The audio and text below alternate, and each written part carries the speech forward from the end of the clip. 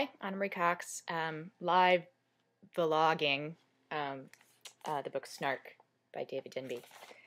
And I, would start off with another list uh, this time. It is now a list um, by Professor Christopher P. Craig of the University of Tennessee. And um, it is a list of the most frequently mentioned areas of personal vulnerability in Roman oratory. Denby refers to it as Craig's list of ancient snark. Uh, and here it is. Um, one, embarrassing family origins. Two, being unworthy of one's family. Three, physical appearances. Four, eccentricity of dress. Five, gluttony and drunkenness, possibly leading to acts of cruelty and lust. Six, hypocrisy and appearance of virtuousness. Seven, avarice, sometimes linked with prodigality. Prodigality.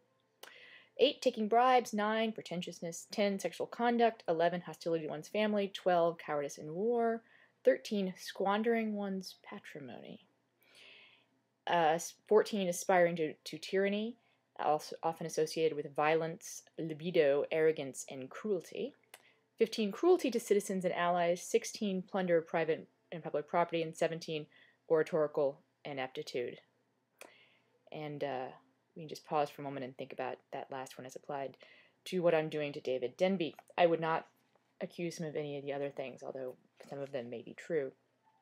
Uh, in any case, what I think is interesting about that, and sort of what points to a whole problem um, with the book, and also this specific chapter, which has to do with the roots of snark in ancient Greek and Greece and Rome, is that um, that is not a list of ancient snark. That is a list of things that one could possibly make fun of. Um, there is nothing about those topics in and of themselves uh, that makes them knowing or nasty, which, as regular viewers know, are the two defining features of snark. There's nothing about the topics that makes them jokes themselves snark.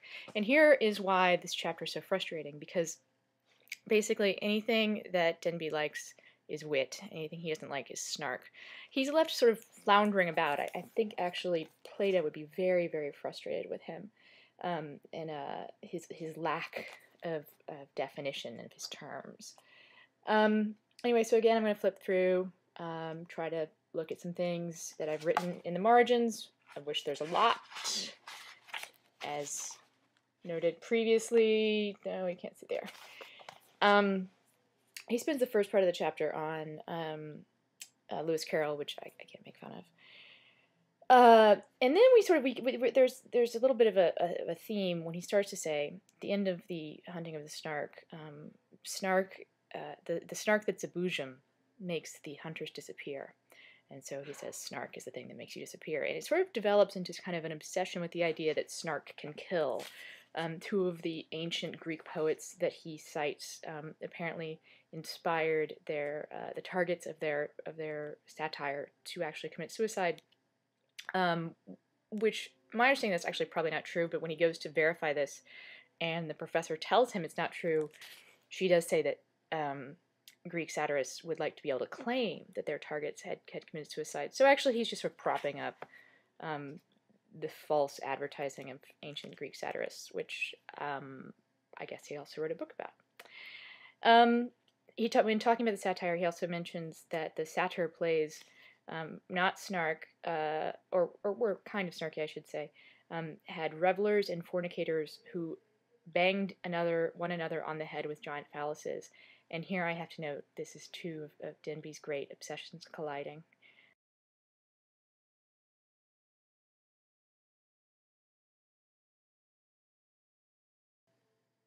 Uh, when it gets right down to it, he, he does try to come up with a, the different a way of defining the difference between irony um, and wit uh, from Snark. Uh, he says that irony, of course, force for good, uh, splits the audience into those who get it and those who don't. It sets up a hierarchy of wit between two parties.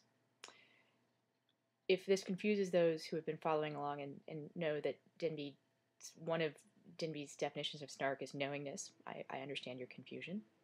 But we will read on. Um, because you know what?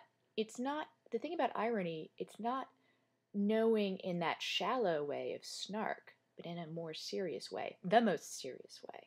It depends on the reader's critical intelligence and understanding, perhaps his sense of tragedy. Irony assumes that God is laughing at you. Snark assumes that your frat brothers are laughing with you.